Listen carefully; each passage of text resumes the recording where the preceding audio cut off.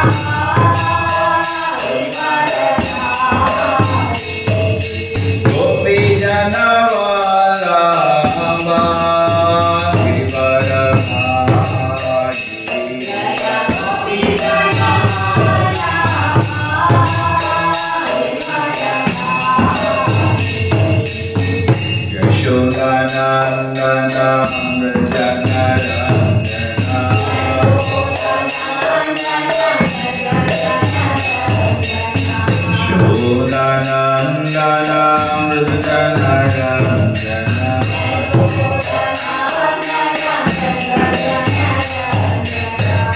यशोदनन्दनं जनरञ्जन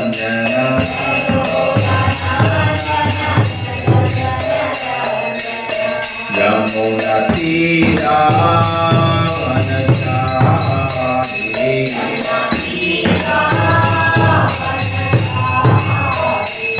यमुनतीरा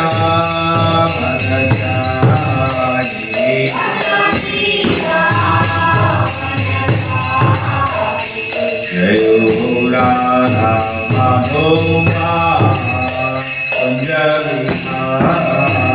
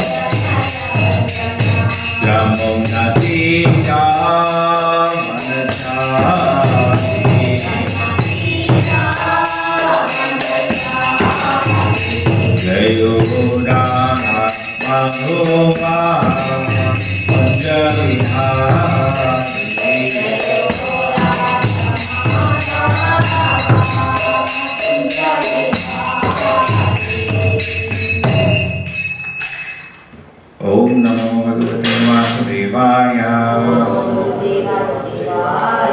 ॐ नमो भगवते वासुदेवाय।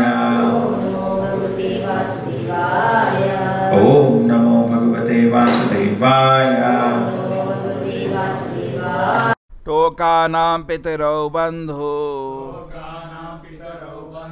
दिशा पक्ष्मस्त्रिया पतिः पतिप्रजानां गृह अज्ञान बुधा सुहे As a father and mother are the friends and maintenance of the children, as the eyelid is the protector of the eye, as a husband is the maintainer and protector of woman, as a householder is the maintainer and protector of the beggars, and as a learned is the friend of the ignorant, so the king is the protector and giver of life to all his subjects. The trees are also subjects of the king, therefore they should be given protection. Now he's taken how many examples to illustrate? I was taking a plea uh, to the prachetas. Prachetas were in water. And they had done tremendous sacrifices, tapasya. They were blessed by even Lord Shiva, the ten prachetas. And they have tremendous power now. Actually, their father Prachinabarhi sent them to some tapasya before you enter household or life. So, even to enter household or life, we should have some tapasya. And tapasya begins by brahmacharya. Tapasena brahmacharyena samena damena va tyagena sat sauchavyam yamena niyamena va. So like that tapasya has been explained. Today that's not the scenario. There is no tapasya. And instead of that, uh, the people, you know, they just maybe flatter. Nobody trains. Tapasya means something which is not good for me today, but ultimately is good for me.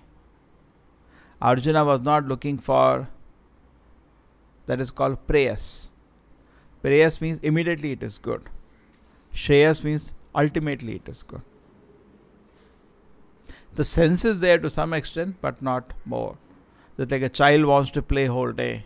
The parent will say study, otherwise what is your future? Some sense is there. But it is not spiritual, it is material. So he has taken so many nice example. Eyelids protect the eyes. Correct? Then what is the other example? Huh? Huh? Yeah, householders protect not the poor. Not the poor. Householders protect the uh, brahmacharis and sannyasis who come for bhiksha. In the Vedic culture, if you go to beg, you are arrested. You may also get a death penalty. It's not allowed to beg. Everybody should work and maintain himself. Begging was only allowed for the brahmanas and the sannyasis because they are busy with other activity. They are also should be busy. You got the civilization. Today people say, no, give food to the poor. You should not do that. Let him work. Correct? Why he wants free food? Like take a, city like Mangalore. By God's grace, you don't find people begging. Because people here will not do that. They will work. Ekka dukka, you will find jokers. You find them sometimes. But overall, people know there, I should work to maintain myself. True? So the society does not encourage what is known as idle parasites. There is nothing like that. The Vedic, uh, you will be punished. You suppose, you know, sometimes you outside the temples you see people lined up. They should be punished actually. They should be arrested. It's not allowed. They cannot have free food. Correct? They're just sitting there. No, temple they can definitely have free prasadam. That is okay. But people are just sitting there. You have seen that? The Bhagwan bhala karega do And what are they having? They are not having life, life of Brahmanas or the sannyasis. They are cheating actually. True or not? They should work. Everybody should work for maintenance. It should not be. Uh, Prabhupada used to say actually so many things. In fact, once what happens, devotees come to Prabhupada. That's a side business, but it was very, very interesting. So, Prabhupada, uh, uh, all your temples, somebody comes to Prabhupada, are like Vaikunthas, as if you have installed Vaikuntha on earth. If you go there, you feel so nice. Anybody goes there feels spiritual inspiration. Prabhupada said, Yes, provided you follow the four regulations. Otherwise, it will become something else. and then it will not endure. Correct? What I used to joke, no? Joint mess. It will not endure. It will not endure. So Prabhupada said, don't make it like a hotel. It should be, I remain a devotee's place. And devotee means the more we increase our service spirit, the more the place will be beautiful. Correct? Like everybody is doing service, that should be the service spirit. I have to do some service. Always. The more but the more we allow ourselves not to follow the regulations, not to chant the rounds, correct? Then what happens? It Prabhupada say it will not endure. Very interesting point it is saying. It will not endure. It will not stay. It will go. But if it there is bhava, Prabhupada used to say sometimes, there is a bhava, service spirit, let me serve Krishna. The place will become Vaikuntha. Otherwise, Prabhupada said it will become a place where the pigeons come and pass stool. You have seen some places. If you travel some temples, there is no caretakers, no cleanliness, and there were a lot of birds which have made nest all around the place. Previous times, okay, there was somebody with bhava, he built for the Lord a beautiful temple, and there are people worshipping. Now they're empty. So many places you see when you travel Tamil Nadu also. Some huge temples are there, no people to take care, some of the places. And uh, only birds passing through. and uh, there will be dogs which is not you know in a temple we don't keep do- dogs roaming inside in that premises here there. You know you just, just feel very uneasy when you see. No cleanliness nothing. Why? The bhava has gone away. Proper it will become big big godowns suppose you buy a huge place build a huge place but there is no bhava it will become big big godowns and then to maintain that you have to do so much natak if there is a bhava, then people will come, that a lot of devotees will come, the service to the Lord will go on with so much pleasure, and everything will be very nice. So that is the responsibility. Anyway, so now here the focus is on this king. The kings, Pracheta, they are the kings, extremely powerful. Somebody was joking there is special genetic engineering in the sense that these kings were really powerful. The ordinary subjects cannot match them. You know, in uh, Ramayana, the Rama was more powerful than whole his army together. True or not? When he came to fight, it was very serious. He came alone practically to fight at the end. But when he came, it was very serious. He had more power than all the soldiers which had come before. True? Maybe except his son Meghnad, who was also very powerful. The Kshatriyas were extremely powerful that time. Even Arjuna, when he came, if Arjuna would have withdrawn, battle was over. Nothing to fight then. Over. Correct? If Karna would have withdrawn, Duryodhana would not even come to the battlefield. That's why Krishna, before the war goes to Karna, that you are the eldest son of the Pandavas, we will give the throne to you. They were so powerful, these people, you know, Bhishma, Drona. Or other soldiers just time pass.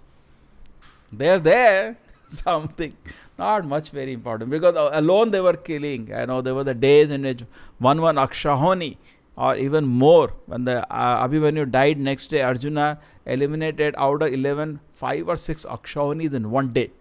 Half the army ate up in one day. So imagine the comparison between him and the other soldiers. Therefore, they were called Maharathis, Atirathis. They can, you know, at, at the same time, they can engage thousands of soldiers. They were extremely powerful. So the Prachetas have come, it's not the other person can rule. They are too powerful there. You cannot think of. You know, today it's like a democracy, no qualities, no qualification. You can be the monarch. Somehow you know trick. is joke actually. There, the Kshatriya, Kshatriya means he should be extremely powerful. There's some reason he should be, uh, we are making him the king of the country, correct? Today they will declare war, just like they declare war against China. And the people who declare war were hiding and having nice bread, bread butter, nice, comfortably they're eating. And the poor soldiers, practically without weapons, died in the war. We all know the history actually. Actually, the joke is mistakes happen. I'm saying this material. The person who does it has to be punished. They all get away. So many soldiers died without weapons. Nothing was there. Just war was declared. Not at all prepared. Huh? Fight. It's a, such a joke, actually, it is. but previously, it's not like that. The Kshatriya will be in the front. He knows the ground situation and will be in the front. Prabhupada says, What's the encouragement for a soldier when a king is hiding? Hmm? He's hiding inside bunker. You know, whatever it is, he's not his damad or he's not his son who's going to fight for him. They fight. But when the king is in the front, that's the encouragement. Yeah, he is taking the lead. And if you kill the king, over, but you cannot kill the king. He's too powerful. It's like in the Mahabharata war, they try to arrest Yudhishthira. Because if he's arrested, war is over. You know that? And therefore, Satyaki and other people protected him. Otherwise, they used to take Arjuna some other place and Dronacharya said, I'll arrest him. Because if he's arrested over, war is for who will be the king? Yudhishthira or Duryodhana? You understand? But here situation a little different. Even though Yudhishthira Maharaj was not the most powerful personality, the five four Pandavas were supporting him were extremely powerful. Particularly Bhima and Arjuna were extremely powerful. So he was the greatest moralist. That was his quality. So something should be there. Uh, something should be there. Uh, therefore, the, the, king has to have that feeling. Prabhupada says today, therefore, in the previous purport, Prabhupada said today, we do not see the people are protected. Why the people are not protected? Because the leaders are busy protecting themselves. Mera post na nikal jaye. Now the government is there, state or center, both are in tension. Election is coming if I lose the post. So when you are bothered about your own safety, where is the time to think about people's safety? Isn't it true or not? So this system is nonsense. I find a good man, give him power forever. Unless there is some serious crisis, then impeach him. But give him power forever. What is the system? You have to keep changing. Eh? That means you are not able to decide properly or what? Why change? Why change? They have no government every around the world. In four years, five years, six years, they change the government. What is the nonsense? You find a good person. Can't you find in the country of 1.2 billion people one genuinely good person? Can't you find? You'll find. Make him the king. Give him all the powers. Over. Over. He'll manage. In case something, have a system of check and balance, but give him the power. He doesn't have. To, if he knows, if he knows that I am doing this work, and there are certain things, norms which I have to follow, and if I follow those norms, then I don't worry about my post. I can work. True. But you cannot do today. Continuously you have to be in fear. Therefore, Prabhupada was very much against multi party democracy. Even if somebody is doing good, the other party cannot congratulate. They have to criticize him. Very Prabhupada this nonsense system actually. It's a wrong wrong system. Nobody can actually do anything in this world with this system. And the people are worried about their own safety. Uh, and what they will do good to the society. So the protection has come. The protection has come for the trees and plants. They're saying that you are father and you got order from your father and the Lord Himself, whom you took darshan when you did tapasya, to populate the universe. And now, if you're going to kill all the trees, your subjects need trees, correct? Just like it has happened now around the world. The trees have been destroyed for so many reasons. And the result is this that there is no uh, what is a proper balance in the atmosphere. Correct? You know that. Too many trees which are killed, it disturbs the whole whole ecosystem. Everything is disturbed. So unnecessarily killing of the trees is not warranted. In fact, for that you have to see reaction. And today trees are actually generally killed unnecessarily. For what? Paper. And what do you use the paper for? Printing nonsense books and magazines. That is sinful. If you cut a tree and take the wood and make paper, and out of the paper you print Bhagavad Gita or anyway glorification of the Lord, the tree will be blessed. And if you take that, cut the tree and you print the nonsense newspaper, then you will get punished for that. Okay? You unnecessarily gave some inconvenience to the tree. Unnecessarily, uh, you have created a difficult condition for the tree. Actually, that is what the civilization is. Uh, the real problems of life birth, death, old age, and disease are staying where it is. Artificially, we are being cheated by the so called scientists that we are making progress. And I tell you a joke. The animals are very happy because the scientists are not cheating them.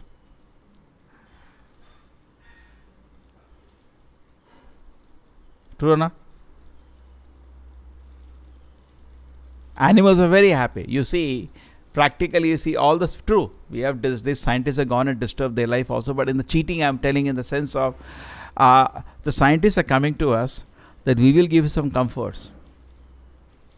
But instead of that, they're only creating more problems. And we are getting cheated. And actually, animals, if you look, they're more comfortable. They are able to meet their four demands eating, sleeping, mating, defending very comfortably, very easily compared to us. They are not starving, they are not shivering in cold.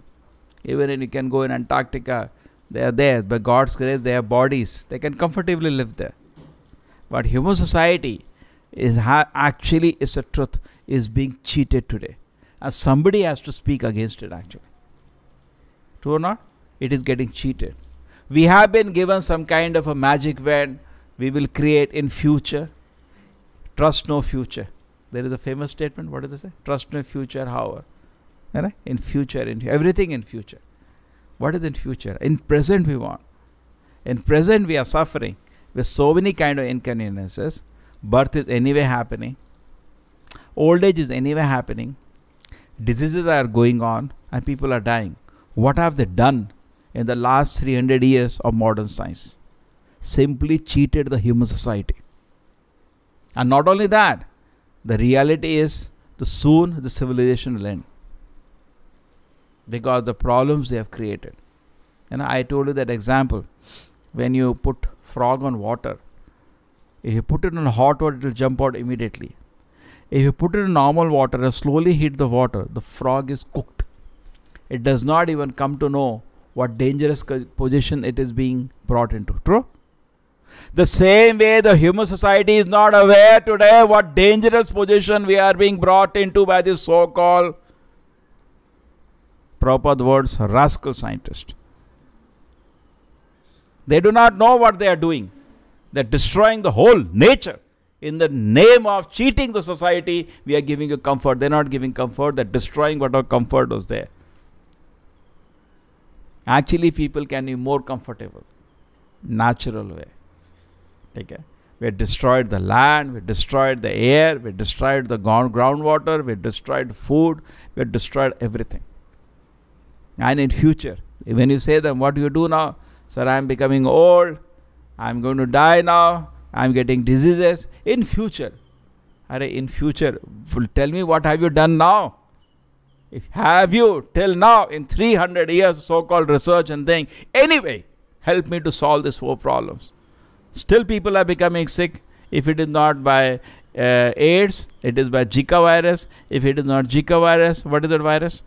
Some another by Ebola. Something the problem is there always.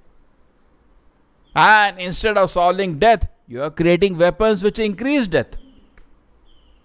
Now, what is your contribution? People are anyway dying. You make a bomb, then millions die together. What do you do to solve the problem? Do something that nobody dies. Do something that nobody becomes old man. Do something that there is no more diseases. That solution comes only by Krishna consciousness. There is no other way it can be solved. So this is actually a Hiranyakashipu civilization. And our work is like a Prabhupada. We want to bring Prabhupada consciousness. Sorry, Prahlad consciousness. Okay? Prabhupada Prahlad say. We want to bring Prahlad consciousness. And presently what we are having a Hiranyakashipu consciousness society. Enjoy, enjoy, enjoy. So what is going to be result? Who is going to win finally? Hiranyakashipu will be killed, vanquished, and Prahlad will sustain.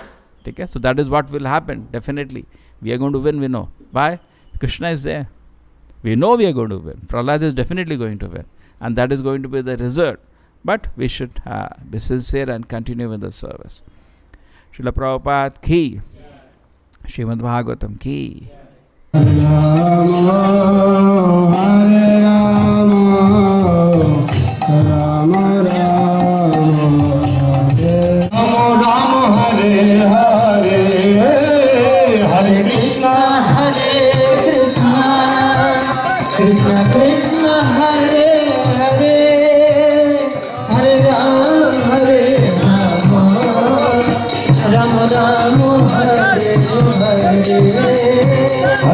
Krishna Hare Krishna Krishna Krishna Hare Hare Hare Ram Hare Ram Ram Ram Hare Hare Hare Krishna Hare Krishna Krishna Krishna